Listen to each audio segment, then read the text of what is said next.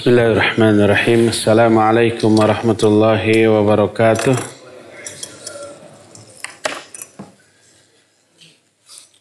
Alhamdulillah Wassalatu wassalamu ala rasulillah Muhammad ibn Abdullah Wa ala alihi wa ashabihi wa mawalah Wa man tabi'ahum bi ihsanin ila yamil qiyamah wa ba'd Ikhwati fillah baik hadirin para peserta daurah yang Allah muliakan juga para pendengar Radio Roja Bandung di mana saja Anda berada.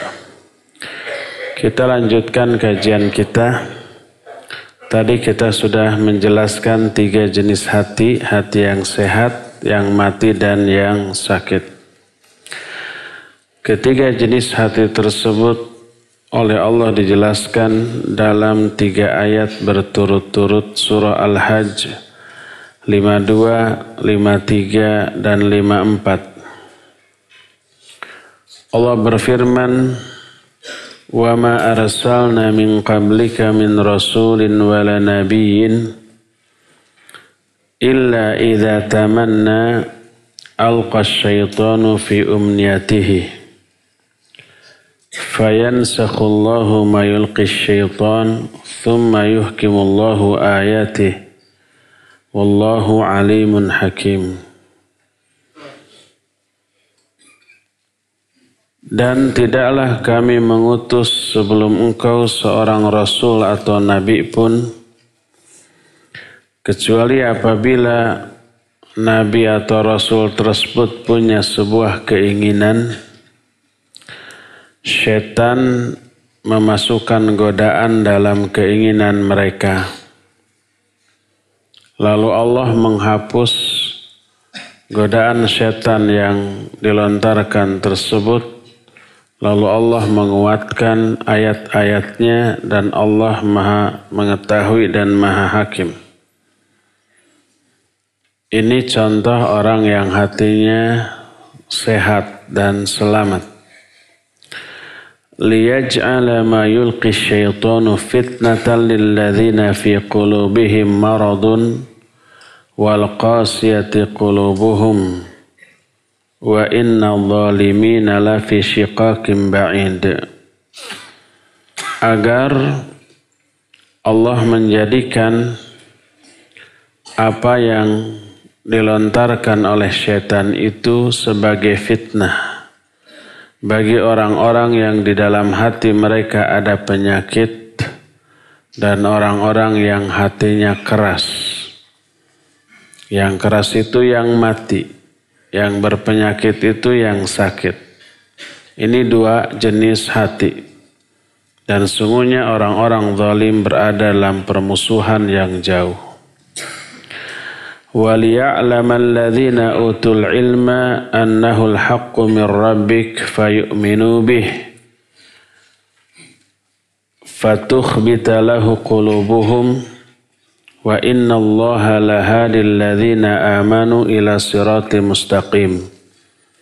Dan agar orang-orang yang diberi ilmu mengetahui bahwa ini adalah kebenaran dari Rabb dari Rabbmu lalu mereka beriman kepadanya. Lalu hati-hati mereka pun tunduk kepadanya. Dan sesungguhnya Allah Maha Pemberi Hidayah kepada orang-orang yang beriman ke jalan yang lurus. Ini yang terakhir juga contoh orang yang hatinya selamat. Di tiga ayat ini Allah telah menjadikan dua hati yang terfitnah dan satu hati yang selamat. Adapun dua hati yang terfitnah, tergoda, Pertama hati yang di dalamnya ada penyakit. Kedua hati yang keras. Adapun yang selamat, hati yang selamat adalah hati yang beriman dan tunduk kepada Rabbnya, hati yang tenang kepadanya, tunduk kepadanya, dan pasrah serta patuh. Sesungguhnya hati dan juga anggota-anggota badan yang lainnya pasti menginginkan kondisi yang sehat dan selamat. Tidak ada penyimpangan yang melalaikan dia dari tujuan dia diciptakan. Apa tujuan diciptakannya? Ibadah. Tidak ada yang melalaikan dari ibadah. Dan tidak keluar dari istiqamah. Baik karena gersang dan kerasnya hati sehingga menjadi seperti apa tangan yang lumpuh atau seperti lisan yang bisu atau seperti hidung yang sedang flu. Tidak bisa mencium bau apa pun atau seperti zakar yang impoten atau seperti mata yang tidak bisa melihat apa pun itu karena apa tadi? Karena kerasnya hati. Hati yang keras tidak bisa berfungsi seperti tangan yang lumpuh, lisan yang bisu seperti itu. Atau karena sebab penyakit yang di dalamnya ada sesuatu yang menghalangi dia untuk berbuat secara sempurna. Jadi anggota badan yang sakit, fungsi dari anggota badan tersebut tidak akan maksimal. Bisa dipakai, bisa, tapi tidak maksimal. Seperti umpamanya telinga yang berpenyakit bisa mendengar tapi rada bonge meesan. Rada bonge itu agak tuli. Harus teriak baru terdengar. Seperti Kaki yang pincang bisa dipakai berjalan? Ya bisa.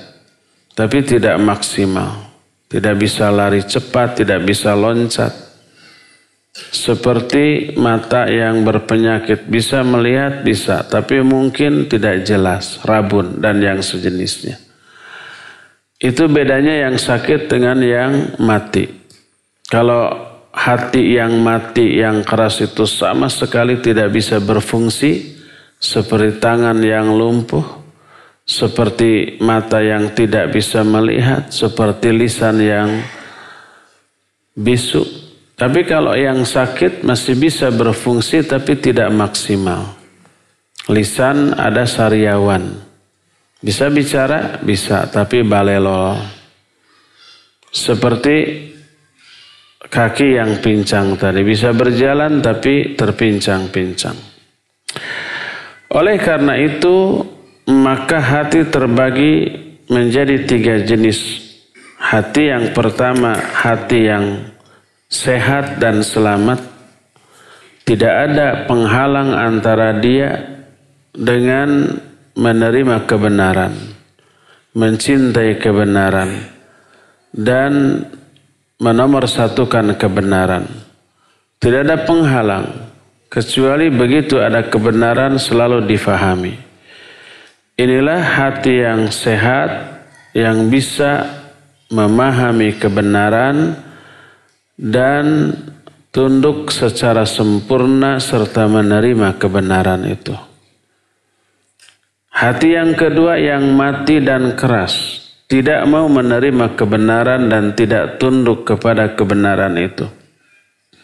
Dan ketiga hati yang sakit.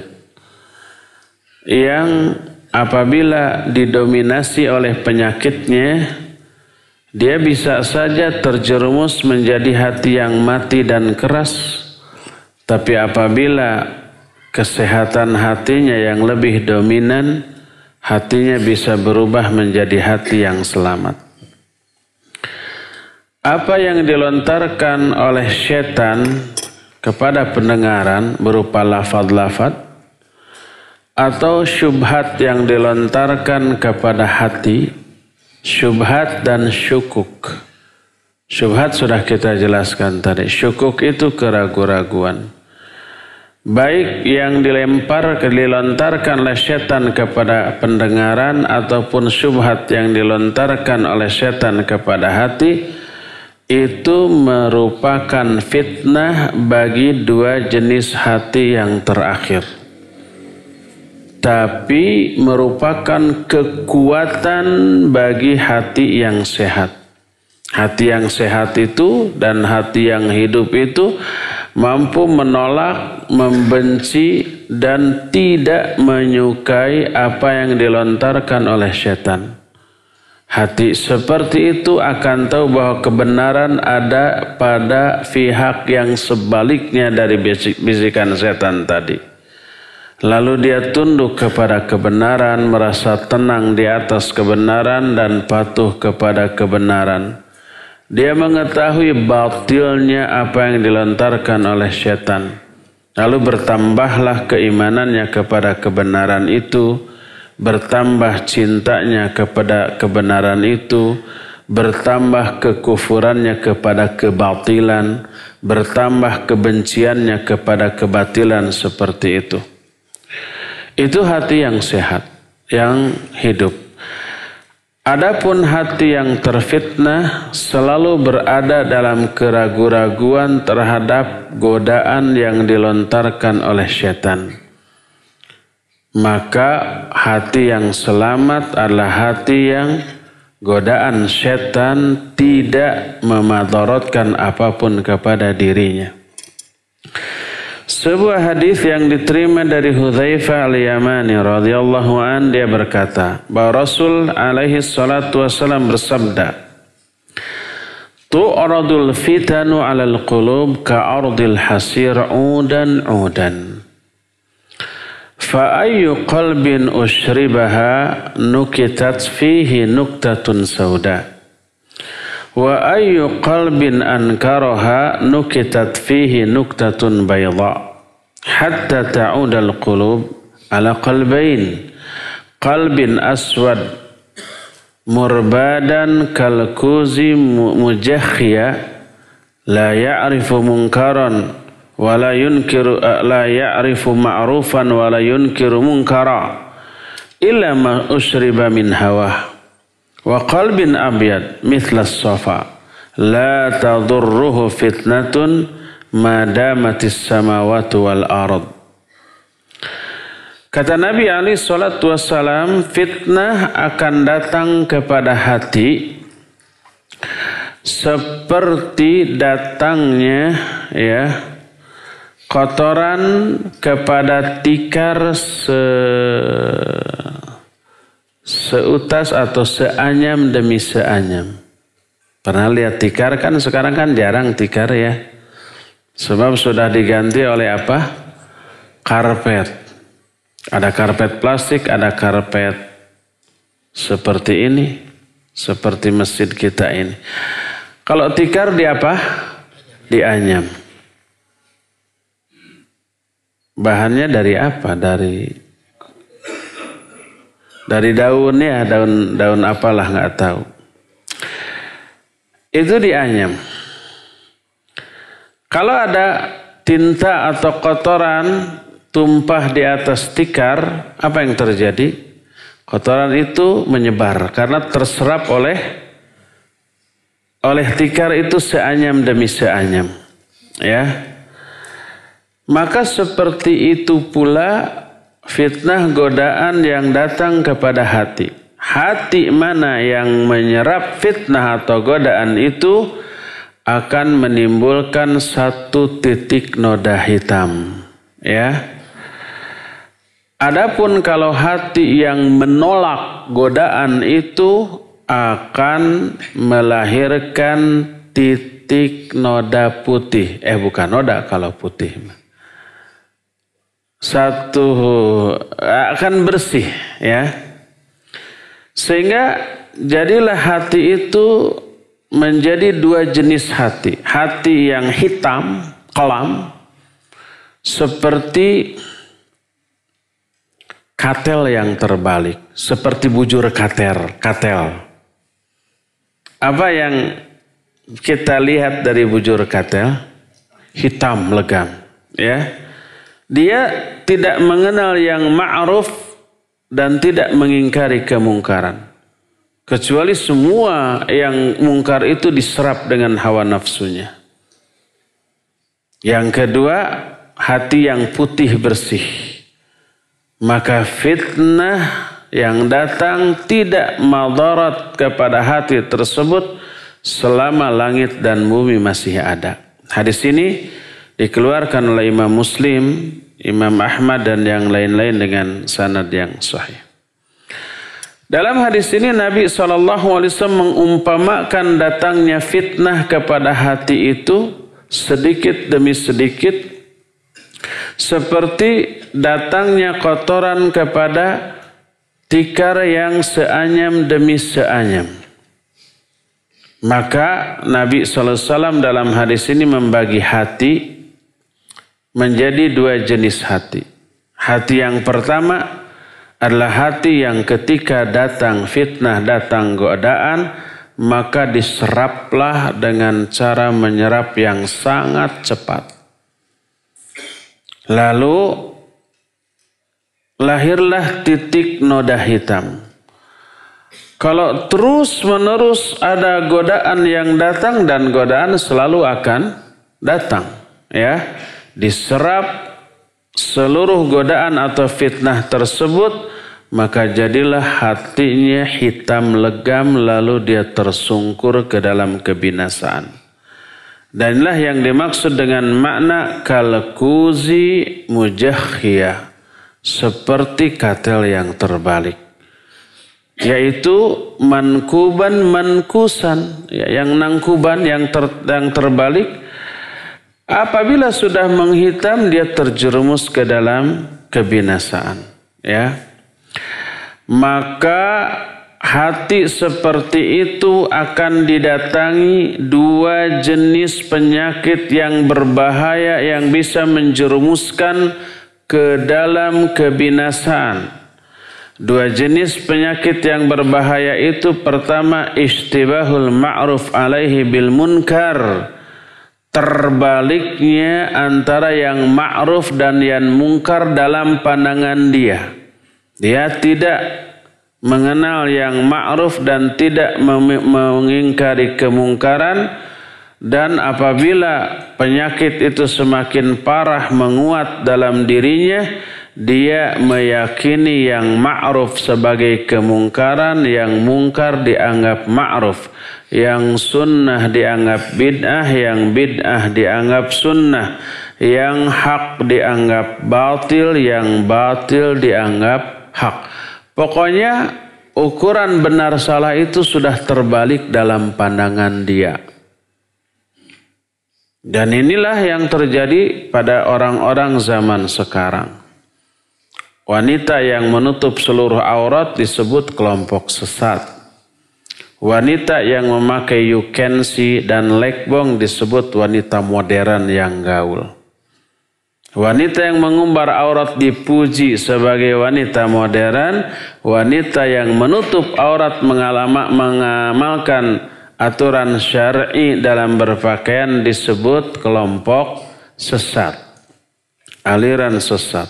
Dicap dengan cap yang mengerikan teroris. Sudah terbalik. Ini penyakit pertama yang berbahaya yaitu terbaliknya ukuran kebenaran dalam pandangan orang yang hatinya tadi hitam. Penyakit kedua yang berbahaya adalah tahkimuhu hawahu ala majabih rasul wa inqiyaduhu lil hawa wattiba'uhu lahu. Yang kedua adalah menjadikan hawa nafsunya sebagai hakim terhadap ajaran yang dibawa oleh Rasul Sallallahu Alaihi Wasallam. Ajaran Al-Quran dan As-Sunnah ditimbang dengan hawa nafsunya. Mana yang benar, mana yang salah tergantung hawa nafsunya. Ya, inilah dua penyakit berbahaya yang menjangkiti orang yang hatinya sudah hitam dan legam. Karena terlalu banyak menyerap fitnah. Satu fitnah yang datang yang diserap melahirkan noda hitam sehingga apabila terlalu banyak fitnah yang masuk seluruh hatinya hitam legam. Adapun hati yang putih, yang bersih wa qalbu abyad, wa qalbun abyad. Qad asyraqa fihi nurul iman wa azhara fihi misbahuhu. Fa idza uridat alaihi al-fitnah ankaraha wa raddaha fazdada nuruhu wa israquhu wa quwwatuhu. Adapun hati yang bersih, yang putih, maka hati ini akan memancarkan sinar iman. Akan menerangi ya, akan terang benderang dengan pelita yang ada di dalamnya. Bila datang fitnah kepadanya, dia akan mengingkari dan menolaknya. Maka bertambahlah cahayanya, sinarnya, dan kekuatannya. Fitnah yang datang ke dalam hati yang menjadi penyebab hati itu menjadi sakit ada dua. Yaitu fitnah syahwat dan fitnah syubhat. Dua-duanya sudah diterangkan tadi. Bahkan disebut wahuma asasu kulli syarrin. Kedua ya fitnah tadi merupakan asal dari seluruh keburukan atau fitnah ghai wa dhalal atau fitnah maksiat dan bid'ah atau fitnah zalim dan jahal ini tiga istilah ini sinonim syahwat dan syubhat atau kata lainnya al-ghai dan dhalal atau kata lainnya uh, maksiat dan bid'ah atau kata lainnya zalim dan jahal. Tiga-tiganya sama. Yang pertama syahwat, ghai, maksiat, zalim itu dosa dan kesalahan padahal dia tahu itu dosa dan salah. Karena hawa nafsu itu mah. Adapun yang kedua yaitu syubhat, dolal, bid'ah, jahal itu kesalahan karena kebodohan, karena ketidaktahuan. Adapun yang pertama syahwat, ghai, maksiat merusak niat, merusak hati, merusak maksud dan tujuan dari amalan. Ketika dia mengamalkan amal baik, amal soleh, hatinya rusak. Maknanya niatnya tidak ikhlas. Dan itu termasuk jenis kemaksiatan. Adapun yang kedua yaitu syubhat, bid'ah, dolal dan jahal melahirkan rusaknya ilmu dan i'tikad. Maksud ilmu di sini pemahaman. Karena bodoh tapi ingin memahami dengan kebodohannya akhirnya pemahamannya keliru. Dari pemahaman yang keliru melahirkan keyakinan yang keliru juga, yang salah juga, ya. Para sahabat radhiyallahu anhum ajmain membagi hati menjadi empat jenis hati seperti yang dituturkan oleh Hudzaifah al-Yaman radhiyallahu an. Dia menyatakan al-qulubu arba'atun, hati itu ada empat jenis. Qalbun ajrad. Hati yang murni, yang bersih. Fihi sirajun yuzhir. Di dalam hati yang bersih ini ada cahaya yang bersinar. Ada pelita yang menerangi. Fadzalika qalbul mu'min dan ini adalah hati orang mukmin. Wa qalbun aghlaf kedua adalah hati yang tertutup. Fadzalika qalbul kafir. Itu adalah hati orang yang kafir. Hati orang kafir hatinya tertutup oleh kekafirannya. Sehingga tidak membuka diri untuk menerima kebenaran. Yang ketiga wa qalbun mankus. Ketiga adalah hati yang terbalik. Fadzalika qalbul munafiq. Itu adalah hati orang munafik. Arafa thumma angkara wa absara thumma amiya. Dia mengetahui kebenaran tapi dia ingkari. Dia melek tapi kemudian dia buta. Pura-pura tidak melihat. Itu hati orang munafik. Dan yang keempat, wa qalbun tamudduhu maddatan. Hati yang di dalam hati itu terkandung dua unsur. Madah iman wa madah nifak. Unsur keimanan dan unsur kemunafikan. Wahuma lima ghaliba alaihi minhuma. Dan hati seperti itu sangat tergantung dari unsur mana yang lebih dominan yang lebih menguasai. Kalau yang lebih dominannya iman, sedikit demi sedikit dia bisa memperbaiki diri sampai bersih. Tapi kalau yang lebih dominannya adalah nifak, ah, ini berbahaya sedikit demi sedikit akan menguasai hati dan berubah menjadi hati yang tertutup.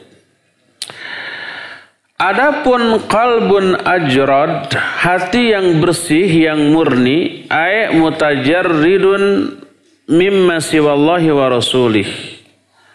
Faqad tajarrada wa salima mimma siwal haqqa. Hati yang ajrad, yang bersih itu adalah yang murni dari segala sesuatu selain Allah dan Rasulnya. Dia bersih, bersih, murni dan selamat dari apa pun selain kebenaran. Dari semua kebatilan dia bersih. Yang ada dalam hatinya hanyalah kebenaran. Wa fihi sirajun yuzhir. Di dalam hati seperti itu ada pelita yang menerangi. Itulah pelita iman. Ya. Dan uh, Hudzaifah mengisyaratkan hati yang ajrod karena murninya dia cenderungnya dia kepada keselamatan dari syubhat kebatilan dan syahwat kesesatan dengan cara teraihnya pelita yang di dalamnya ada cahaya yang menerangi dengan cahaya ilmu dan iman. Dia bersih karena ada dua aspek tadi, ilmu dan iman. Terbersihkanlah semua kotoran, tersisihkanlah semua kegelapan, lalu yang ada hati tersebut menjadi bersih dan bersinar. Kedua, al-qalbul aglaf, hati yang tertutup merupakan isyarat dari hati orang kafir. Karena di dalam hati itu ada ghilaf dan ghisyawah. Ghilaf itu penutup. Ghisyawah itu juga penutup. Fala yasilu ilaihi nurul ilmi wal iman sehingga cahaya ilmu dan cahaya iman tidak bisa menembusnya. Tidak bisa memasuki hati tersebut karena tertutup. Sebagaimana firman Allah tentang orang-orang Yahudi, Yahudi berkata wa qalu qulubuna gulaf. Berkata Yahudi, hati-hati kami itu sudah tertutup. Gulaf itu jamak dari aglaf. Dan di dalam hati orang itu ada gilaf atau penutup. Di sini ada pembahasan dari aspek bahasa Gilaf itu seperti kuluf atau aklaf. Yang ini juga sudah berubah menjadi bahasa Indonesia kuluf apa kulub. Yaitu puntennya rada jorang mengesan. Yaitu kulit yang menutupi zakar yang belum disunat. Itu kuluf namanya apa? Bahasa Indonesia kuluf. Dari mungkin dari bahasa Arab kuluf. Itu kulit yang menutupi itu yang ketika dikhitan tutupnya itulah yang dipotong, dibuang. Sampai batas mana? Tanya ke dokter, jangan tanya saya. Pokoknya itu namanya kuluf. Dan penutup atau kuluf itu adalah akinnah atau penutup yang Allah gambarkan tentang hati mereka.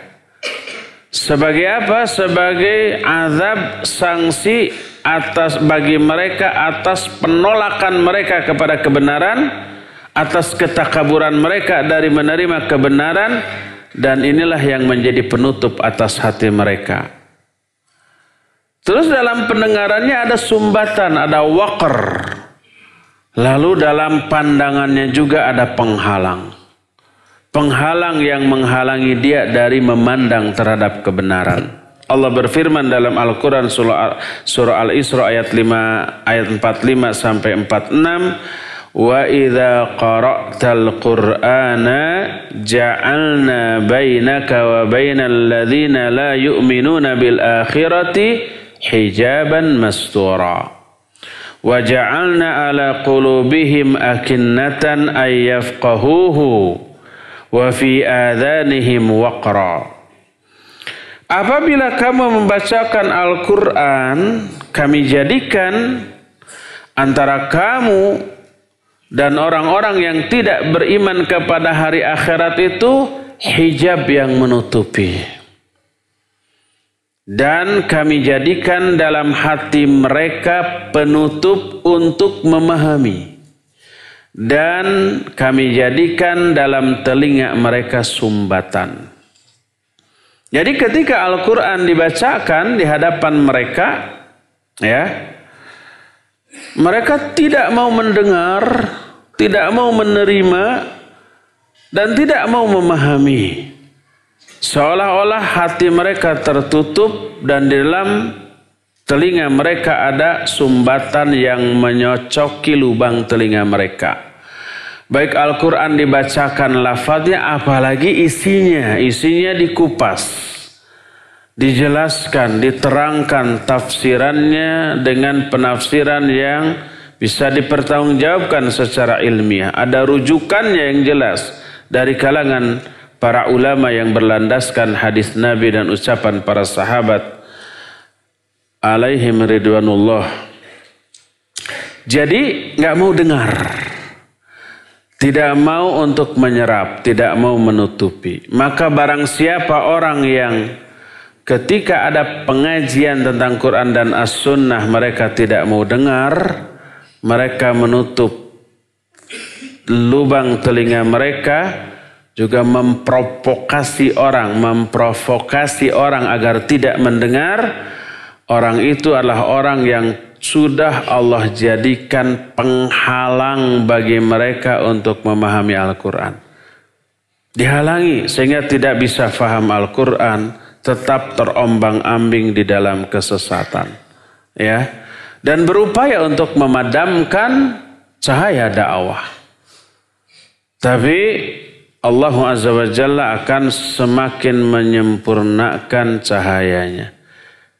Yuriduna ayyutfi'u nurallahi biafwahim wallahu mutimmun nurihi walau karihal kafirun. Mereka itu ingin memadamkan cahaya Allah. Ingin memadamkan cahaya Allah artinya ingin mematikan dakwah. Dakwah itu jangan sampai didengar oleh orang-orang. Yuriduna liyutfi'u nurullah biafwahim. Dengan omongan mereka. Juga dengan sikap mereka.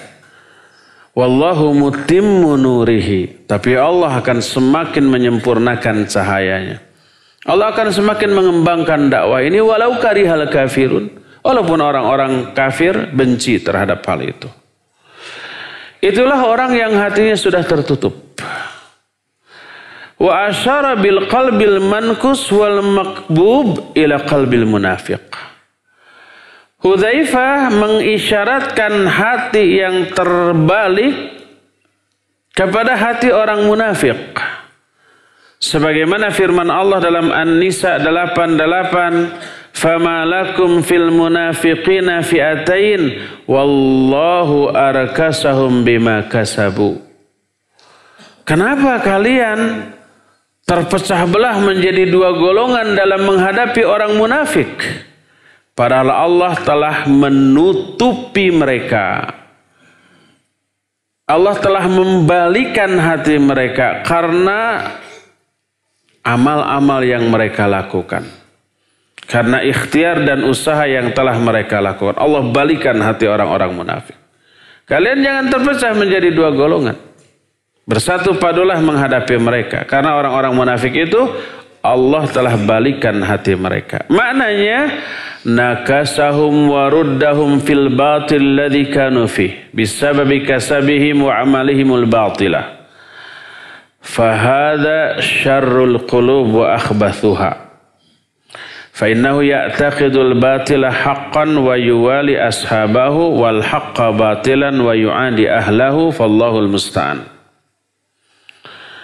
Makna Allah telah membalikan hati mereka artinya Allah telah membalikan mereka dan menolak mereka kepada kebatilan yang sebelumnya memang mereka di sana. Orang munafik itu kan tadinya kafir ya. Lalu pura-pura Islam. Menampakkan keislaman secara zahir menyembunyikan kekafiran dalam hatinya. Allah balikan lagi hati mereka kepada keadaan sebelum mereka menunjukkan keislamannya. Dibalikan kepada kekufuran. Karena memang amalan mereka yang batil. Dan inilah seburuk-buruk hati dan sebusuk-busuk hati. Hati seperti ini meyakini kebatilan sebagai sebuah kebenaran dan berwala kepada pelaku kebatilan. Apa berwala? menunjukkan komitmen, menunjukkan persaudaraan, persahabatan dengan orang yang melakukan kebatilan. Kenapa? Karena mereka anggap kebatilan sebagai sebuah kebenaran dan menganggap kebenaran sebagai sebuah kebatilan dan memusuhi orang-orang yang berada di atas kebenaran dan menyebarkan kebenaran. Allah lah tempat kita meminta pertolongan. Itu orang-orang munafik. Lahiriahnya Islam. Tapi memusuhi terhadap dakwah Islam.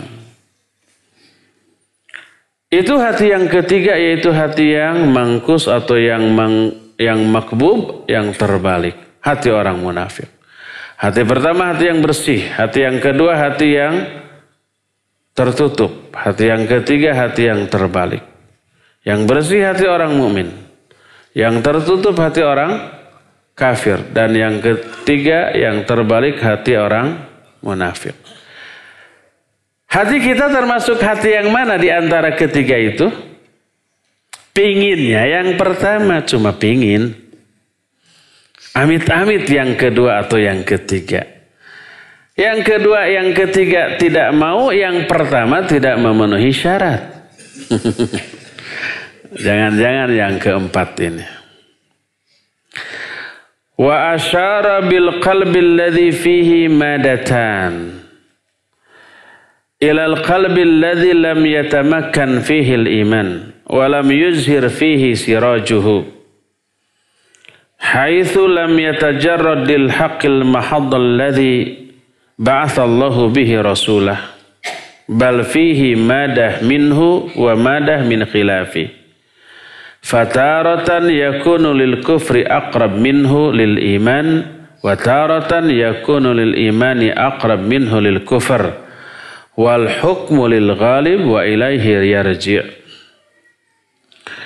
Adapun hati yang di dalamnya ada dua unsur ini diisyaratkan kepada hati yang imannya tidak tertancap kuat di dalam hati. Ada iman tapi goyah. Imannya tidak memancarkan cahaya. Karena tidak murni berada di atas kebenaran sebagai ajaran yang Allah telah mengutus Rasulnya dengan membawa ajaran ini.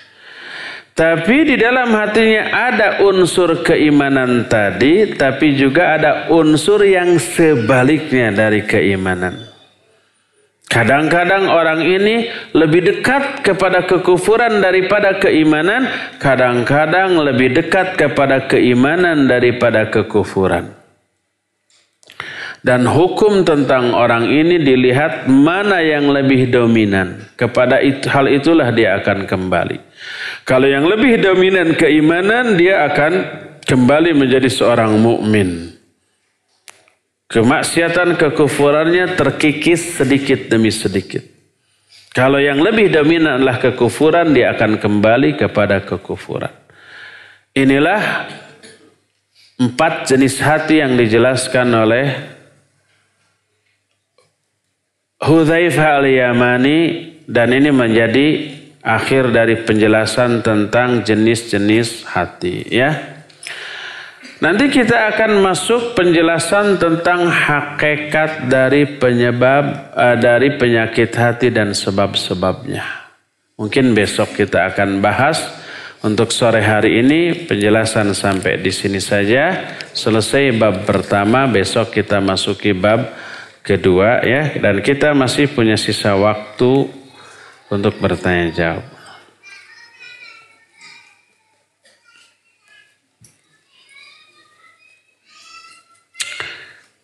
Pertanyaan pertama, bolehkah mengucapkan amin ya Rob? Robnya tanpa alif lam dan juga tanpa diidhafatkan. Iya, boleh. Kalau Rob tidak dinisbatkan kepada kata lain, tidak diidhafatkan dan tidak beralif lam, Rob begitu saja, mutlak makna, maka maknanya maksudnya Allah Azza wa Jalla. Amin ya Rabb. Amin wahai Rabb. Maknanya adalah Allah Azza wa Jalla. Dan itu dibolehkan. Itu sudah kita bahas ketika membahas qaul mufid ta'liq ala kitab tauhid.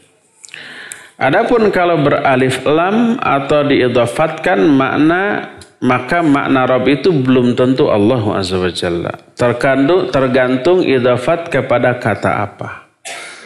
Kalau Rabbul Alamin ya itu Allah ya. Kalau Rabbul Ka'bah ya itu Allah ya. Tapi kalau umpamanya uh, Rabbul Ghanam maka maknanya orang. Maknanya pemilik kambing. Man Rabbul Ghanam, siapa pemilik kambing ini? Si Fulan. Itu bisa orang. Atau memakai alif lam, maka maknanya mungkin saja juga orang. Karena alif lam di sana disebut li ta'rif, ma'rifat, untuk menentukan makna Rabb di dalam kalimat itu kembali kepada fa'il yang atau subjek yang disebut di awal kalimat tersebut ya. Itu makna Rob yang memakai alif lam atau idhafat wallahu a'lam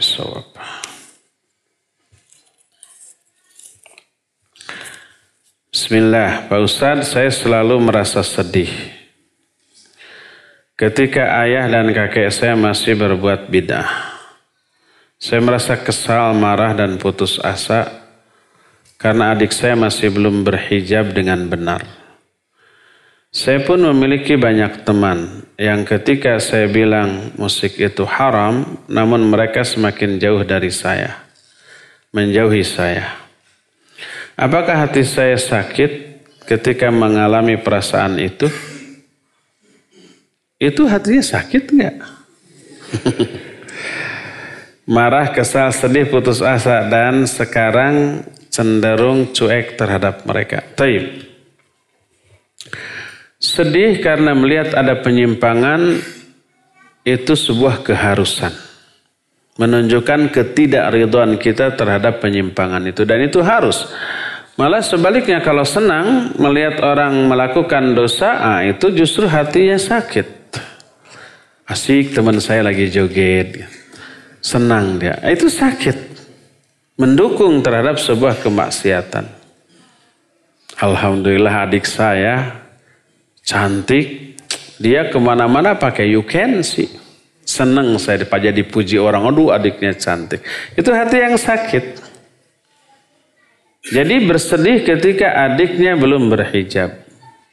Sedih ketika ayahnya, kakeknya masih melakukan kebidahan. Sedih ketika kawan-kawannya masih suka kepada musik. Ya itu harus.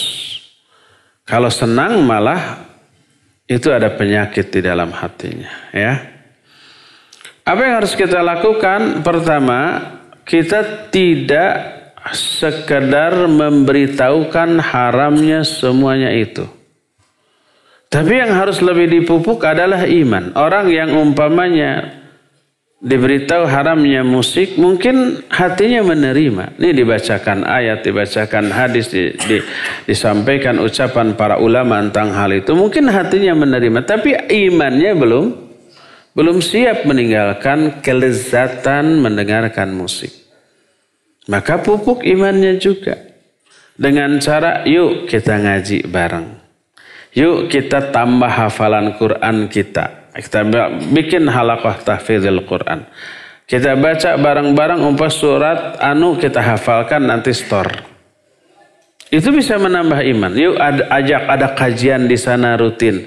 Itu bisa menambah iman.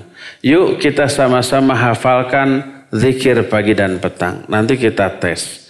Yuk kita hafalkan kan kita sering safar. Kita hafalkan doa safar. Nanti saling ngetes. Itu bisa menambah iman.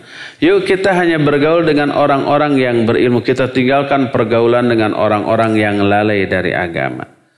Pilih-pilih dalam bergaul, hanya bergaul dengan orang yang baik-baik. Iya, itu bisa menambah iman. Perkuat iman, ketika iman kuat, dan dia sudah masuk informasi dalil tentang haramnya musik, nanti dia akan tinggalkan sendiri. Pas mau nyanyi, aduh rasanya nggak serak dengan hati saya, baru saja baca Quran. Baru saja ikut kajian masa sekarang harus ngahaleang. Harus ngahaleang itu me bersenandung. Nggak klop ke hati. Nanti dia tahan diri, lama-lama dia menjauhi, lama-lama dia betul-betul meninggalkannya. Jadi tidak sekedar memberikan informasi ilmu kepada mereka karena sering kali mereka sudah tahu tentang haramnya hal itu tapi imannya yang lemah menyebabkan mereka tidak siap. Coba kepada orang pecandu rokok sampaikan, Kang tahu nggak rokok itu haram? Ini dalilnya. Langsung berhenti? Enggak. Malah dia mencari dalil untuk membantahnya. Kan rokok belum ada di zaman Nabi, masa sudah diharamkan? Nah gitu kan. Tuh lihat kiai-kiai juga ngerokok. Mereka lebih tahu hukum. Dalilnya banyak. Tapi bisa merusak kesehatan. Itu para dokter juga ngerokok. Dokter ahli jantung lagi. Sebab ada dokter ahli jantung. Saya pernah periksa sakit jantung. Hati-hati Pak, jangan ngerokok, jangan minum alkohol, jangan ini semua yang dia lakukan saya saya, saya sudah jauhi. Saya nggak merokok, saya nggak minum. Maksudnya minum minuman keras, minum osok. Iya terima kasih, saya nggak pernah melakukan semua itu dok dari kecil. Iya, keluar pas zuhur mau sholat, si dokter itu ada di kantin lagi ngelepus Lu itu si dokter kaburo maktan. Jadi orang sering kali sudah tahu haramnya sebuah perbuatan yang sedang dia lakukan, tapi karena imannya lemah, dia belum sanggup meninggalkan kesenangan dalam melakukan kemaksiatan yang dia selama ini. Belum siap. Pupuk imannya. Ya. Doakan dan seterusnya. Kalau semua usaha kita sudah maksimal dia belum berubah juga, kita sudah memperoleh pahala dari dakwah, dari memberitahu ya. Kemudian kita sedih, ya wajar. Sedih karena melihat saudara kita, kawan kita masih bergelimang dalam kemaksiatan, itu sesuatu yang normal bahkan baik ya. Jangan sampai kita malah bersorak ketika melihat orang lain bermaksiat. Assalamualaikum warahmatullahi wabarakatuh. Waalaikumsalam warahmatullahi wabarakatuh. Ustaz mohon tips-tips bagaimana cara kita sebagai seorang anak di mana orang tua kita terjebak dalam ibadah-ibadah bid'ah dan hati yang masih enggan diajak ikut kajian. Adakah doa khusus Iya, doa khusus ada, doa umum ada. Doa khusus yang diajarkan oleh uh, Al-Quran dan hadis yang sahih banyak tentang umpamanya agar orang tua kita diberi hidayah. Salah satunya adalah Rabbik firli wali walidayya wali man dakhala baitiya mu'minan walil mu'minina wal mu'minat. Itu doa siapa? Doa siapa? Doa Nabi Nuh itu surat Nuh ayat terakhir itu teh. Katingali itu apal juz amma. Eh bukan juz amma itu juz ke-29. Surah Nuh surah ke berapa? Surah ke 71.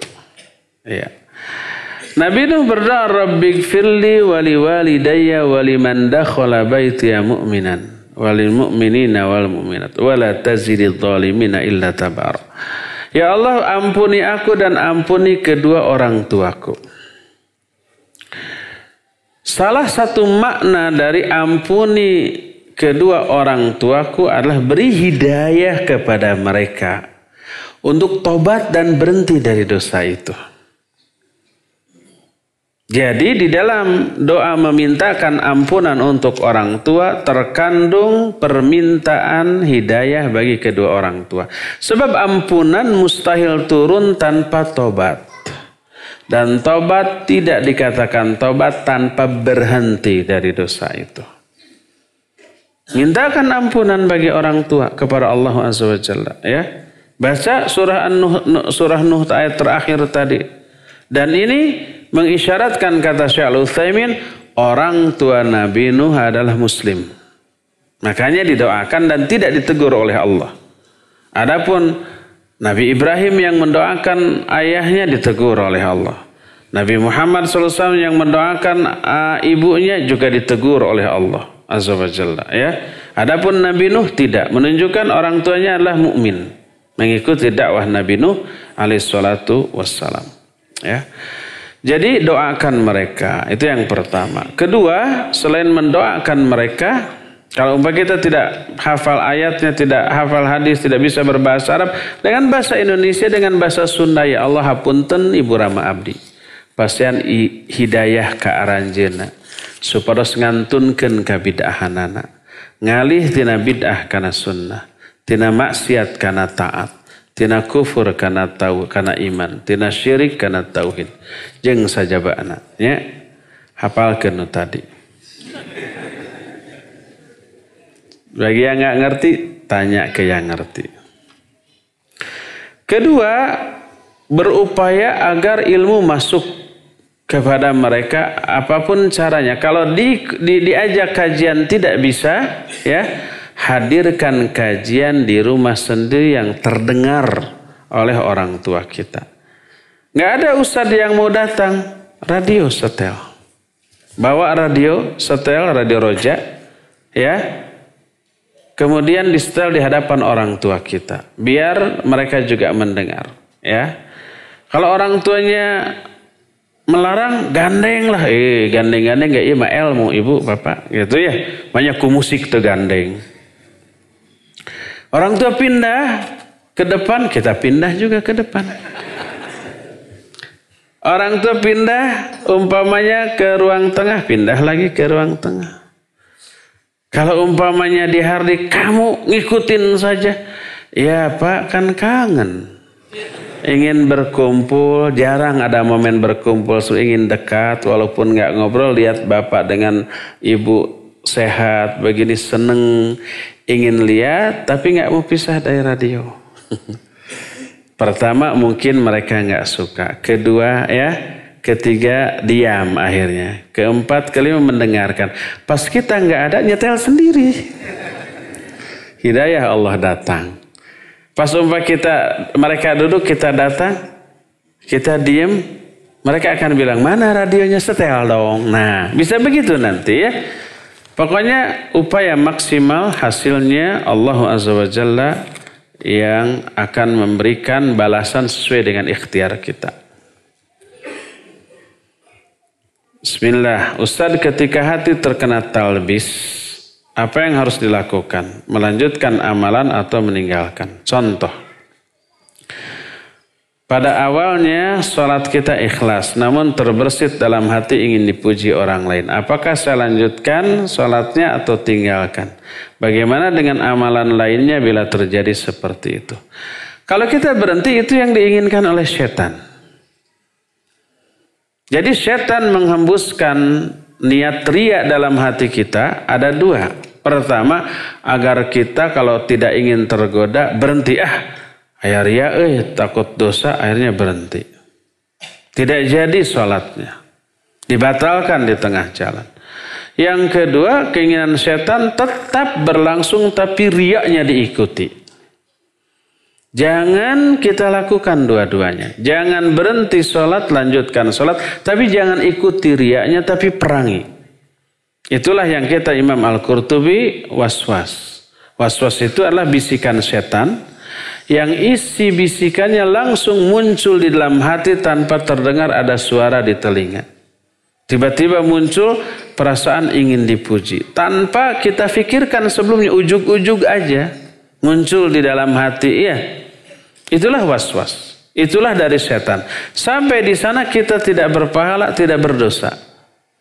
Barulah kalau kita merespon bisikan itu dengan respon yang salah, baru berdosa. Baik yang salah itu, aduh ada ria, nggak jadi ah sholatnya. Baru kita berdosa. Karena apa?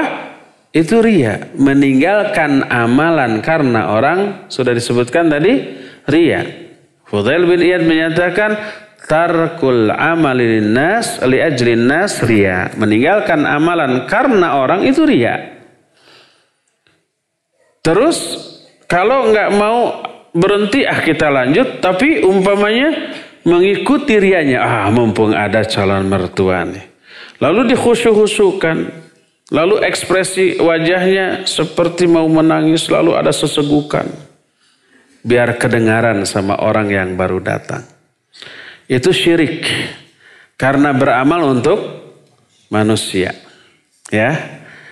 Jangan berhenti, bahkan lamakan dan jangan mengikuti hasutan untuk ria, perangi dengan cara kembalikan niat itu ikhlas kepada Allah Azza wa Jalla. Sebodoh amat, mau ada calon mertua, mau ada calon apa pun, saya bukan sholat untuk mereka. Mau jadi nikahnya mau tidak, sebodoh amat. Yang penting sholat saya ini untuk Allah Azza wa. Kembalikan kepada keikhlasan. Hanya ingin ridho Allah. Hanya ingin dinilai oleh Allah. Dipuji oleh Allah. Diberi balasan oleh Allah. Bukan oleh manusia. Kembalikan.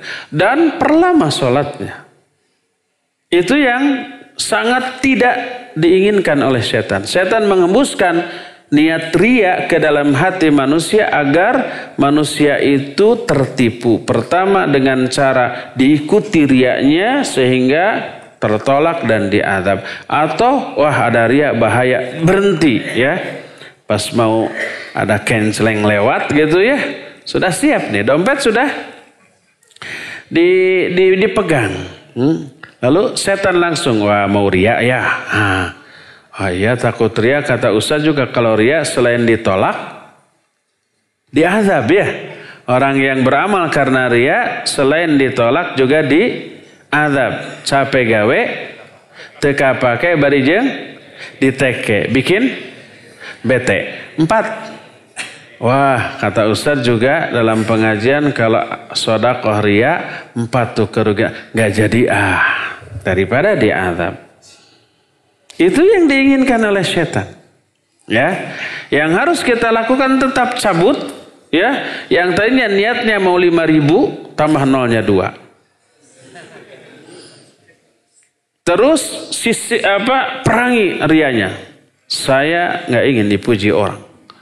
Saya akan tutup dengan kopiah saya dibuka, kopiahnya masukkan. Bukan kopiahnya, uangnya. Kopiahnya untuk menutupi, ya, agar nggak dilihat orang. Perangi rasa riaknya ya, kembalikan kepada keikhlasan, lanjutkan sodakohnya bahkan tambah. Yang tadinya mau 5 ribu tambah nolnya 2. Jadi berapa? 500 ribu. Ya. Aduh rasanya masih kurang ikhlas. Tambah lagi nolnya dua lagi. Wallahu a'lam.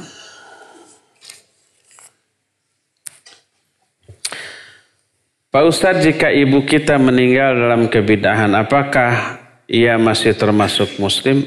Tergantung jenis kebidahannya. Ada kebidahan yang mukafirah, ada yang ghair mukafirah. Kebidahan yang menyebabkan kufur ada juga yang tidak kufur ya.